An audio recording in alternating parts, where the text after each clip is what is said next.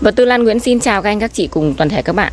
Còn hai ngày nữa là hết cái à, chương trình hỗ trợ giá của hàng Hùng Nguyễn Ben 05 các anh, các chị nha. Với các anh, các chị mà dùng cái hàng Ben 05 cái túi 4kg này, Rồi mà chuẩn bị hết chuẩn bị hết phân nhá. Để trăm cây thì lên lấy nhanh bởi vì nó sẽ không còn giá 135.000 một túi 4 kg này nữa các anh các chị nhá. Mà nó sẽ lên là 160.000 bao ship cho các anh các chị nhá. 160.000 sẽ tăng thêm đấy ạ. Sẽ tăng thêm là 25.000 các anh các chị nhé tăng thêm là 25.000 một gói. Nên là em sẽ làm cái thông báo này liên tục trong 2-3 ngày liền để các anh các chị nắm được cái thông tin nhé đấy là cái ben 05 của cái hàng à, hàng hàng uh, bao. Thế còn hàng ben 05 của hàng hộp.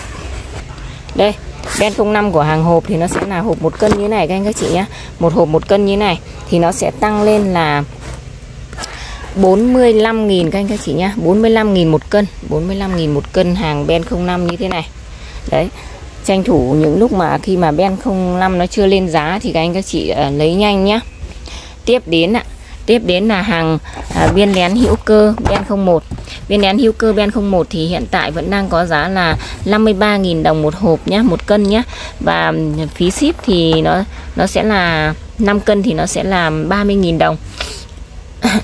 một cân thì nó một cân thì nó là 25 000 nhé các anh các chị nhé một cân là nhưng mà em đóng hàng thì nó lại bị qua một cân bởi vì em lại còn đóng thêm một cái bì hoặc là một cái hộp nữa.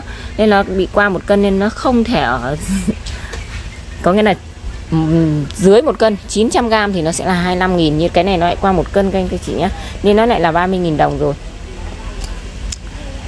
Đây đen 05 thì các anh các chị nhanh tay nhé nhanh tay lấy nhanh.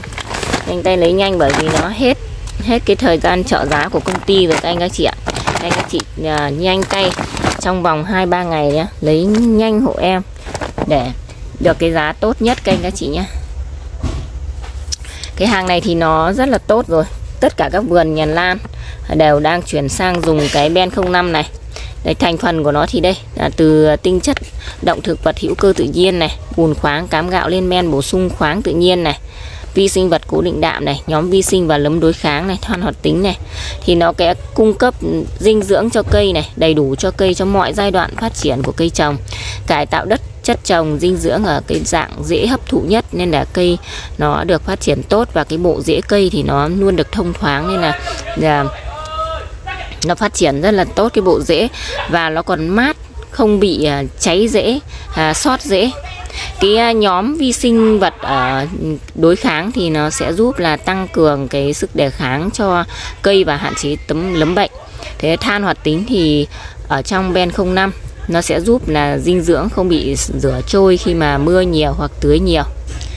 Một video ngắn thì em vừa mới giới thiệu sơ qua về cái hàng viên nén dinh dưỡng à, Ben 05 Cảm ơn các anh các chị đã theo dõi hết video. Ai chưa đăng ký kênh thì đừng quên nhấn đăng ký kênh ủng hộ cho um, Vật tư Lan Nguyễn nhé. Bây giờ thì em xin chào và hẹn gặp lại các anh các chị ở video ngắn lần sau ạ.